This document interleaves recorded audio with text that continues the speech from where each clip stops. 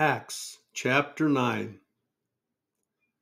Meanwhile, Saul was still breathing out murderous threats against the Lord's disciples. He went to the high priest and asked him for letters to the synagogues in Damascus, so that if he found any there who belonged to the way, whether men or women, he might take them as prisoners to Jerusalem. As he neared Damascus on his journey, suddenly a light from heaven flashed around him. He fell to the ground and heard a voice say to him, Saul, Saul, why do you persecute me? Who are you, Lord? Saul asked. I am Jesus, whom you are persecuting, he replied. Now get up and go into the city, and you will be told what you must do. The men traveling with Saul stood there speechless. They heard the sound but did not see anyone. Saul got up from the ground, but when he opened his eyes, he could see nothing.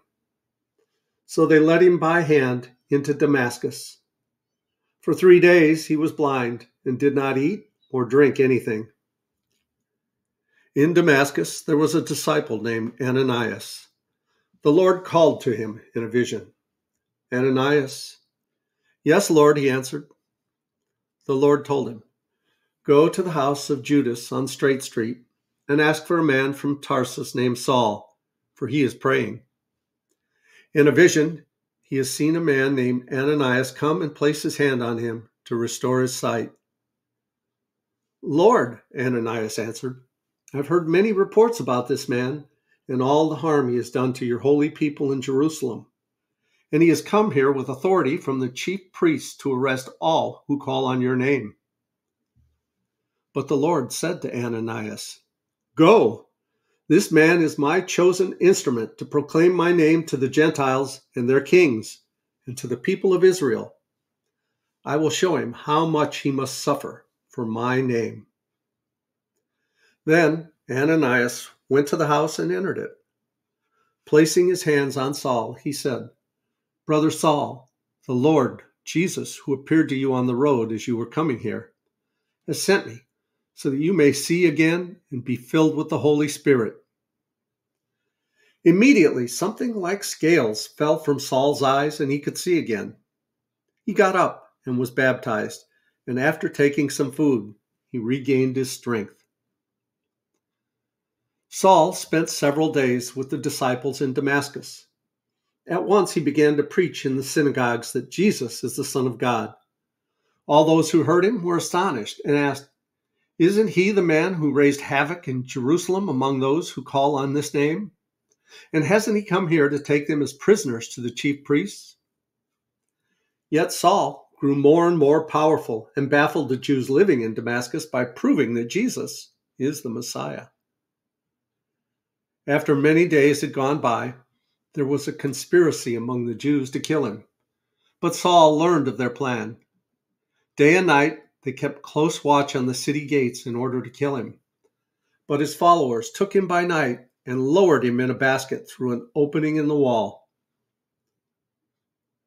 When he came to Jerusalem, he tried to join the disciples, but they were all afraid of him, not believing that he really was a disciple.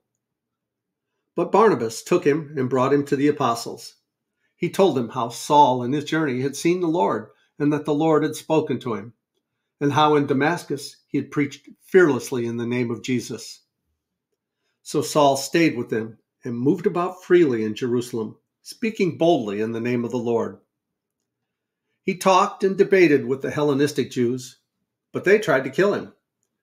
When the believers learned of this, they took him down to Caesarea and set him off to Tarsus.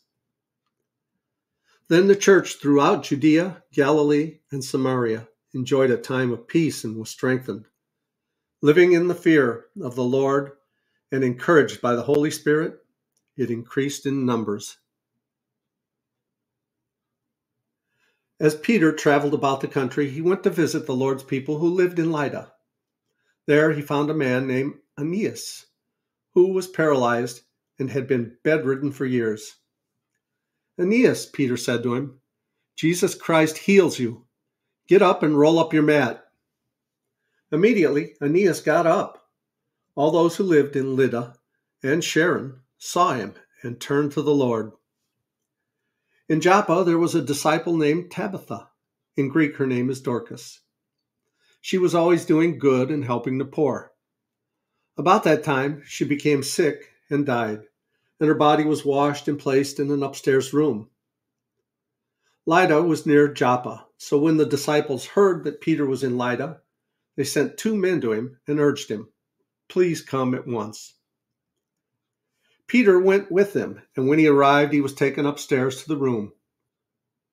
All the widows stood around him, crying and showing him the robes and other clothing that Dorcas had made while she was still with him. Peter sent them all out of the room. Then he got down on his knees and prayed.